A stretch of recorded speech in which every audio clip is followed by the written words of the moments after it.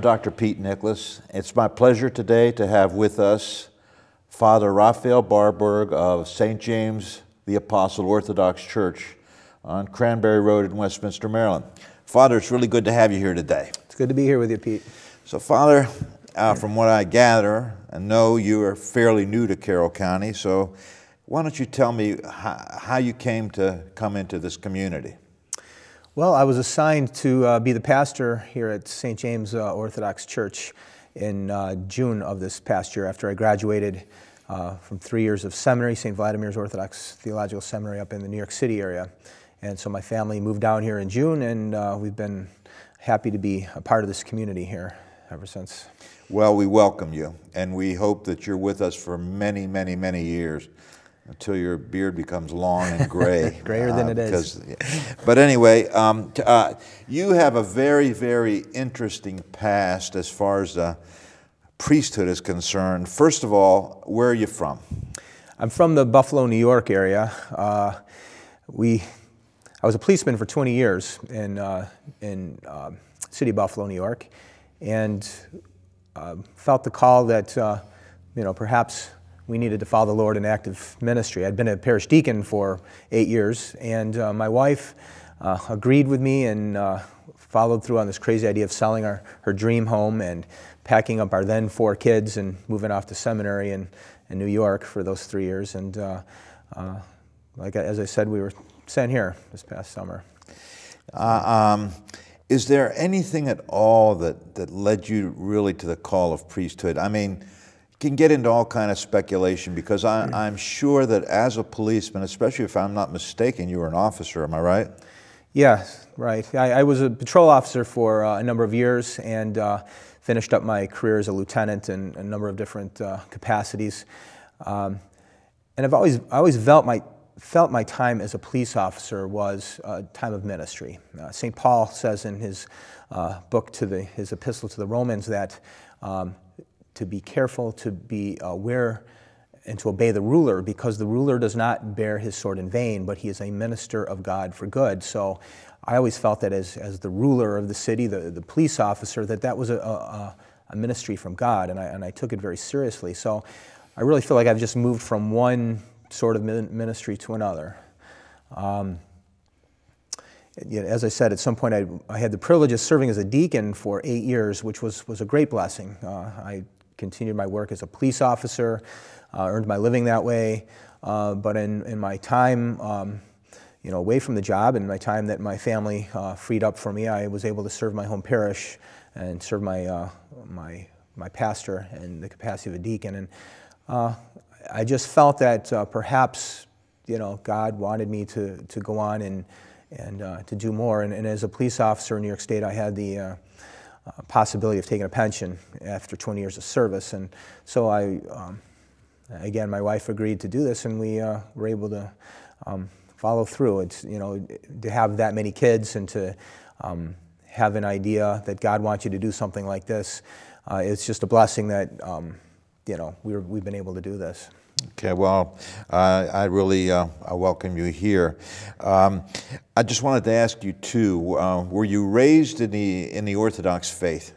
No, uh, I was raised. I was uh, brought up a Baptist from a long line of uh, Baptists down in, in the South, and um, you know, through my youth, we kind of bounced around, checked out a few different denominations, and I had this idea that. Um, there was something wrong with the fact that there were so many different denominations to choose from that you know our consumeristic culture um, you know that you could just go shopping for a church. And of course that's what, what i eventually did. But i thought there's something gravely wrong here when you read the book of acts and you see that christ established the church. And you know he, he gave these promises that you know the gates of hell will not prevail against the church and that he would send his holy spirit to the church to lead.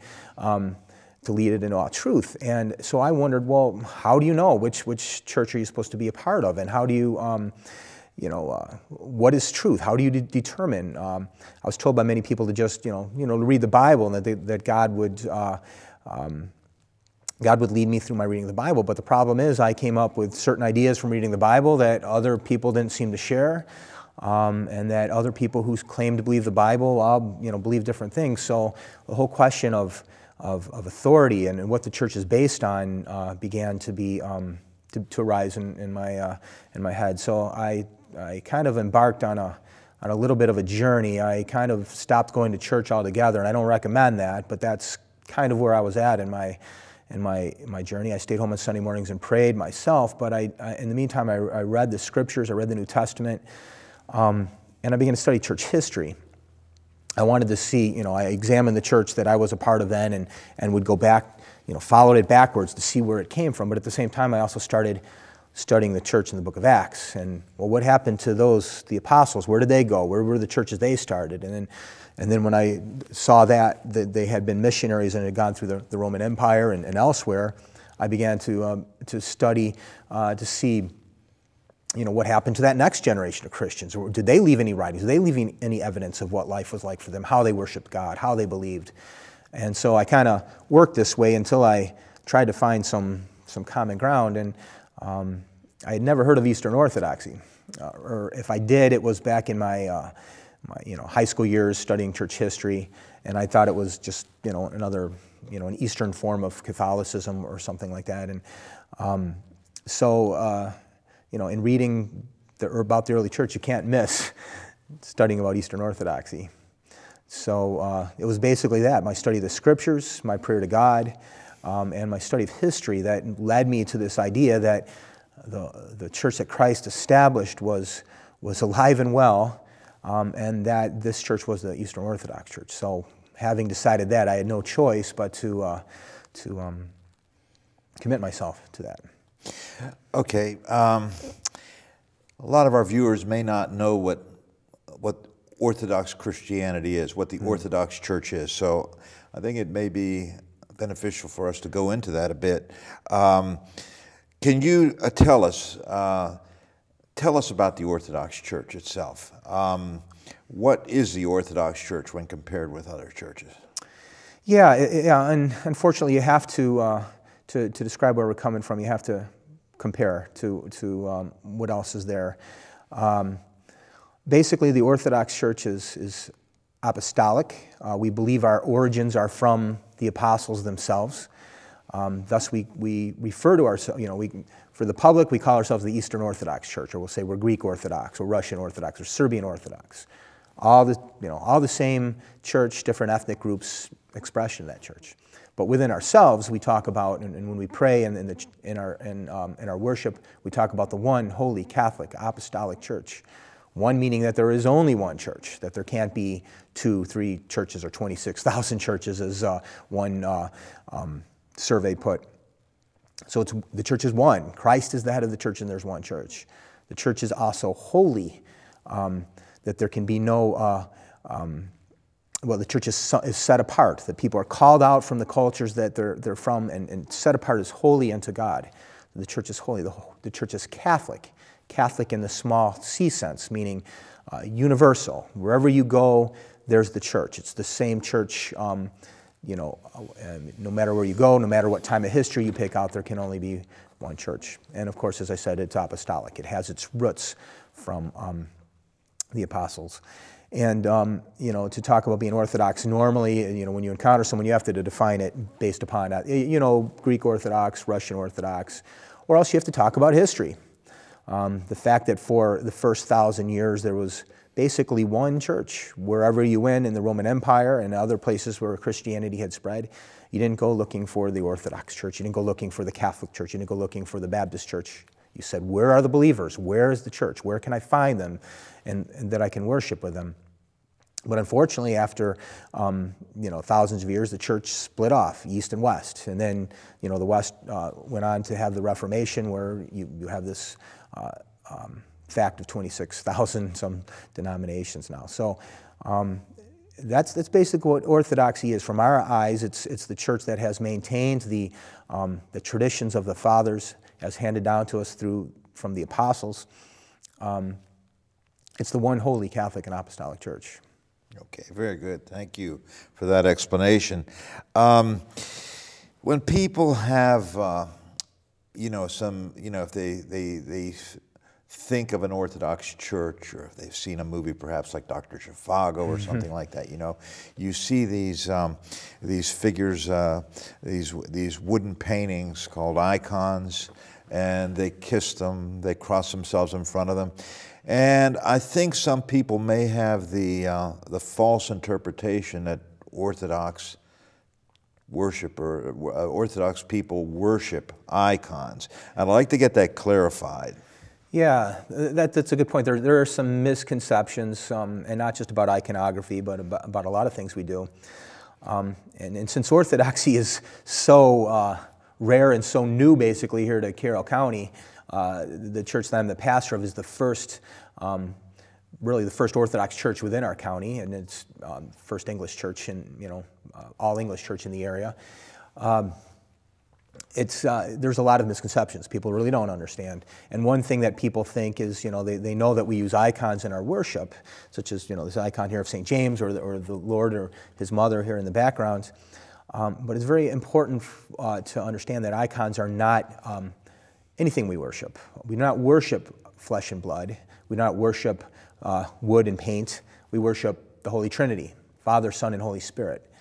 Um, but what icons are, icons for us are a symbol of the incarnation, that uh, Christ, who is the eternal Word of God, uh, took on flesh for our salvation. Even though he was fully man, 100% fully God, 100% God, he took on flesh and became 100% man. In this great mystery that we can we can't understand. The icon is a, um, is a symbol of that, is a reminder of that, is a pointer towards that. Um, because Christ was a real human being in the flesh, um, you, he could be depicted.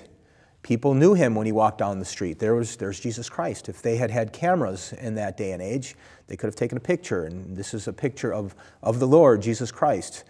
Um, but they didn't. What they did was have painting. And um, so we have continued the, the use of painting and other types of symbolism in our worship to point us to the very real fact that Christ has come in the flesh. The Word of God Himself is incarnate as a man for our salvation. And so, because we have icons, because of this insistence on the incarnation, we use these icons. You know, um, icons are used to tell a story, to help the, the icon behind us of, of the little baby being held in his mother's arm. This is the reality of what we celebrate every year at the Nativity, the reality of what undergirds our whole uh, Orthodox worship. And so, uh, it, but it goes beyond there. Um, there were many, uh, you know, icons tell a story, but there, there's also icons of, of uh, individuals who were important to the Lord. For instance, you know, the St. James icon here in front of us. St. James um, was a brother of the Lord in that he was a close relation. Uh, the tradition tells us that he was uh, one of uh, Christ's stepfather Joseph's um, previous children. And he became an apostle and the first bishop of Jerusalem. So he was a very important person in the life of our Lord and in our Christian faith. So he is somebody that we um, have an icon of, and which we name churches after, such as our own. So we know we to make a, um, a, a to give a short answer to uh, the question. We don't worship icons, but we do use them in our worship. They help point us to God. Okay, very good. Thank you very, very much for, for uh, clarifying that for some of our viewers. Um, if you were to say, for example, as a matter of fact, just as a point of clarification, there was an ecumenical council that clarified the issue on icons. Am I right? That's so important. Um, everything in the church from the very beginning, as we read in the book of Acts, was settled. You know, controversies came up. Whether a new Christian had to become a Jew, and, and for an adult that meant, you know, for an adult male that meant circumcision. And, and the, the church came together into a council and decided that no, that, that to become a Christian did not mean that you had to become, become a Jew and accept circumcision. And that, that pattern followed on through church history, that any major decision that came up, the church gathered together in council. Another great example of that is the, is the Council of Nicaea, which, uh, uh which came together um, as a result of the, the, the teachers of a certain uh, priest out of uh, Alexandria called Arius, who tried to say that Christ there was a time that Christ was not, that he was a creature like the rest of us, that he was not the eternal Word of God. And so the Nicene Council came together and um, came up with the Nicene Creed to combat um, this false teaching of Arius. Well, the same thing is true about controversies over, over icons. Um, people today aren't the first to, to accuse us Orthodox of, of worshiping icons, and there arose a movement within the church to try to say that this was not right, this was idol worship, this was not of God. So once again, the church came together in the, and they, the, uh, in the city of Nicaea again, once again, and determine once and for all that no, we use icons in our worship, that this is indeed wood and paint, and that if you take a cross and you break it in half, you you throw it in the fire, it's simply wood, it burns. But when two pieces of wood are put together in the form of the cross, that points us to the Lord. When an artist takes a, a, a board and paint and paints um, you know, uh, a depiction of, of the Lord or of a saint or an event in the history of our salvation, that this is an icon, this is something holy that points us to God. So it's not just something that we've taken lightly, it's something that's been hammered out over the course of 2,000 years, and that we who live in this day and age don't have to continue to invent uh, Christianity over and over again, but it's something that's been present with us for 2,000 years. Okay. Um, can I ask you? I'll, I'll, try and point maybe just a couple of things to you uh, for our viewers to find out what may, some of the differences may be between some of our, you know, our, our, our other sister Christian churches in the you know uh, throughout the world.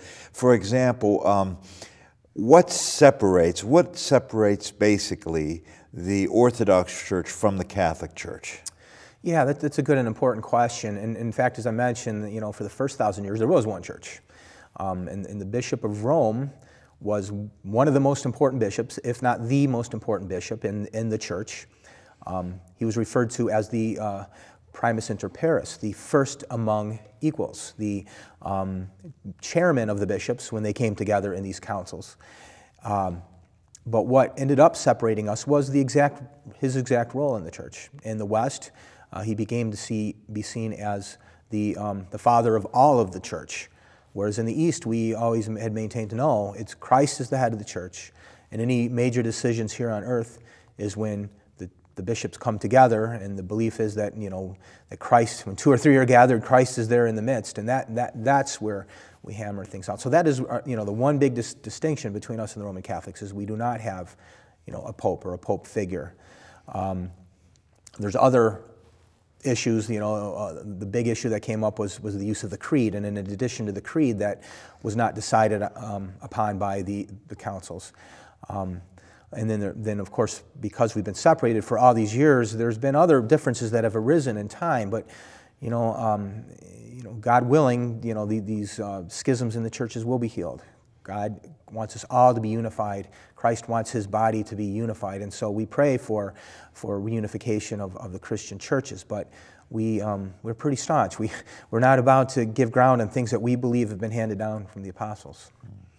Um, I want you to correct me if I'm wrong, but in some of my study uh, of the Orthodox Church, um, and correct me or, or, guide me if I'm wrong, but uh, basically, the dogma of the Orthodox Church, to be an Orthodox Christian, is basically to believe in the creed. Am I correct? That's, that's, uh, there's, there's two aspects of it. It's that we have right belief, and that's what orthodoxy means. Ortho, you know, you're, you're a dentist, and uh, everybody uh, with, with kids is always worried about the ortho, orthodontist having to pay to have their kid teeth straightened, their kids' teeth straightened, and that's, that's what ortho means, straight, the, the true, um, not deviating. And doxa, sometimes being um, referred to as doxology, being glory, the right glory, but also the right, you know, doxa doctrine, the, the right doctrine, the true doctrine. So believing in the, the faith as taught by Christ and the apostles and handed down to us is, is something key for an Orthodox Christian. But it can't be just what we believe. There has to be a, a unity there because if you believe this and you're over there and I believe this and I'm over here, what, what, what does that mean? What's important for us Orthodox is that we are united and we are united in the body and blood of Christ.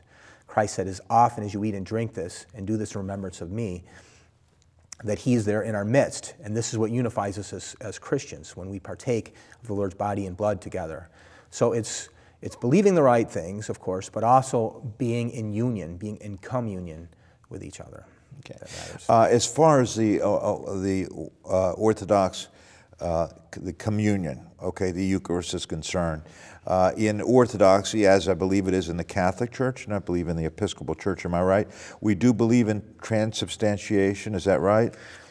Well, transubstantiation is a problematic word because it's not a word that we've ever used in our Orthodox teaching. Um, it was, uh, you know, a, a, word that came about in discussions in, in the West um, about, um, you know, is this the body and blood of the, of the Lord or is it just a, a symbol, you know, in a, in a, way that maybe an icon is just pointing to, the, pointing to something real.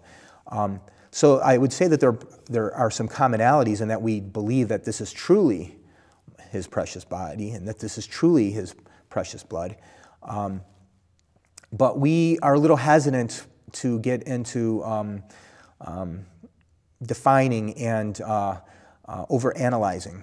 We just simply know it's a mystery. We believe it's the Lord's body and blood because He said so, and that's it. We don't have to get into any more of when, exactly when it happens or how it happens or anything of that nature. So we're really hesitant to. Um, so I, I, wouldn't say that transubstantiation is a, as a word um, um, conveys what we Orthodox believe, but um, there, I think there is a commonality between um, you know, Roman Catholics and um, you know, very traditional Protestants who have maintained the tradition that when, when the community gathers on a Sunday or, or any other special occasion, that you are actually parta- participating or taking the Lord's body and blood because He said it was. It's, it's, not, it's not bread and wine anymore.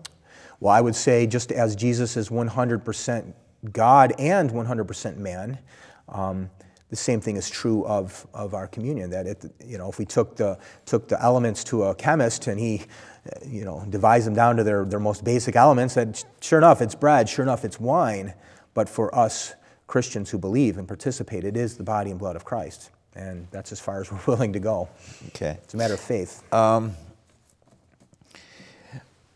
can you tell me some of the uh, Orthodox traditions? In other words, uh, one of the things that happens periodically is, uh, uh I believe perhaps maybe once every four years, the Western and the Eastern dates for, for, uh, for Pascha, for Easter, come together. And uh, I don't know how these calendars came about or whatever, and not that it makes much difference, mm. but you know, can you tell us a little bit about that? Yeah, one thing that um, if you have a neighbor or you know somebody who's Orthodox, one thing that you might pick up right away is uh, the celebration of some major events in the life of Christians are, are uh, on, according to different date of reckoning. Um, fortunately or unfortunately, uh, in, in most Western Orthodox Christians have revised our calendar so that we are in line with Western churches in our celebrations of, of Christmas, the Nativity of Christ, and of um, you know, some of the other fixed dates. Um, but back in, you know, overseas and some, some Orthodox in this country, you know, have continued to use an older reckoning, the, the Julian calendar, as opposed to the newer Gregorian calendar um, for that. But the one thing that almost across the board, and there's of course always an exception, but almost across the board, all Orthodox celebrate the great feast of the resurrection together on the, on the same day of Pascha. Um, and it's a different type of reckoning that we use, which uh, would take more than a half hour program to talk about. Uh, but basically, uh, it has to do with when um, you know, um, the, uh, the new moon after the, the, uh, after the vernal equinox occurs, um, and according to which calendar you're reckoning that. So us Orthodox, sometimes our, our Paschal celebration, and, and Pascha being uh, you know, the word that we use for, for our, our, Feast of the Resurrection, known in English as Easter, um, sometimes we fall on the same day, and other years it falls maybe a week apart, and then some years it falls a month apart. Uh, but it is, uh, you know, the same celebration of the resurrection of Christ that, is, that has li literally changed the world is what we are participating in. Okay. Um, other things uh, in, uh, in Orthodoxy, um, yeah, for example, explain some of the you know other major feast days that uh, that are in the Orthodox Church. The Orthodox Church has a has a uh, great emphasis on on fasting, which um, you know as we all approach the, uh, the, the dates of Great Lent, you know Ash Wednesday is right here upon us for the Christians in the West, and shortly thereafter we we Eastern Orthodox will begin fasting for Lent, and that, that's about half the year. But as, as we fast, it's always with the goal in mind of, of feasting. Um, that our faith is very celebratory. We celebrate the great works that Christ has done for our salvation. And so, along with the feast of, of Christmas, the, the Nativity, and the, the, feast of the resurrection of Christ, which most Christians, you know, of, of whatever stripe, celebrate, we also have a very full liturgical calendar and, and such events as um, there's, there's other than the Feast of Pascha, where there's 12 great feasts that we celebrate all, eh, you know, all together, and then very many more minor um, celebrations. And um, depending on where you are, um, you know, take on either a major role or, or sometimes overlooked. But the, the, 12 great feasts center on the events in the life of our Lord and His mother, the Theotokos, um, such as the Feast of the Transfiguration, of Christ on the Mount, Mount Tabor, which we celebrate every year in, in, in, in, the month of August, the feast of the, the entry into Jerusalem, sometimes known as Palm Sunday, um, that many people know about, is always celebrated on the Sunday before uh, the Great Pascha itself. Um, and then, of course, uh, events in the life of, of, his mother, such as, as, as, the, the time when the Archangel Gabriel came and announced to her um, that uh, she was to, to conceive and bear a son, um, you know, the Savior of the world, which we celebrate on March 25th, the Feast of the Annunciation. So we have a very full cycle of, of not just fasting, which a lot of people hear about, um, but, also, but also feasting. It's a, a, great deal of celebration, which in every Orthodox culture takes on a different flavor, and, and there's different foods associated, and, and dance and drink, and, and just celebrating the fact that um, our Lord has come in the flesh to save us. Father, I thank you very, very much. Time is getting short here, and uh, I'm sure that some of our viewers who've enjoyed your presence uh, would look forward to perhaps another show and I would maybe ask you to do that.